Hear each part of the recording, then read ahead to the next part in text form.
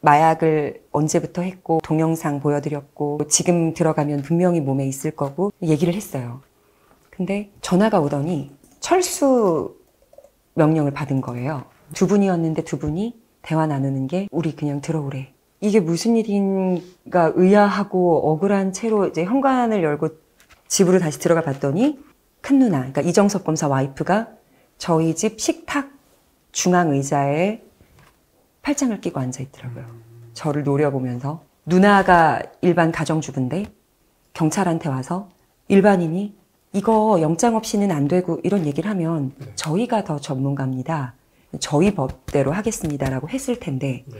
이것들을 싹 수그러들게 만들 만큼 법적 절차에 대해서 짚어준 사람이 누굴 건가, 누군가. 그럼 저는 고모부밖에 없다고 생각해요.